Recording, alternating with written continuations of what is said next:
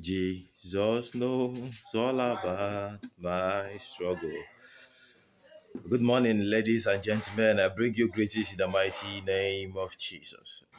I hope you are doing great. I hope you are blessed.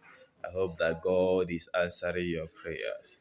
This morning, I come with a very special message.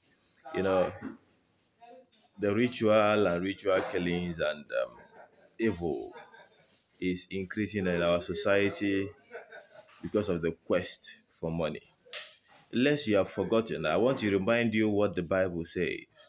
I want to remind you what God says. It says, Seek you first the kingdom of God and its righteousness, and every other thing, including riches, including good cars, including good houses, including good money in hard currencies, shall be added unto you.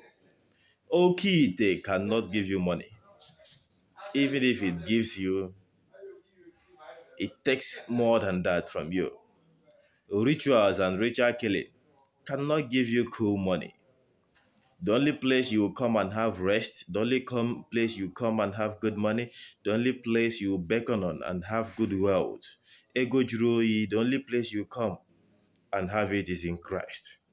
So, brethren, I urge you this day to give your life to Jesus Christ if you have not done that.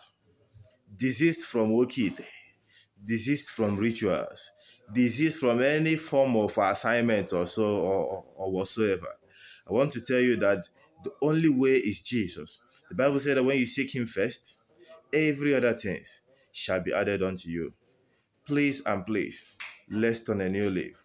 Money is important, but I can tell you, money is not everything.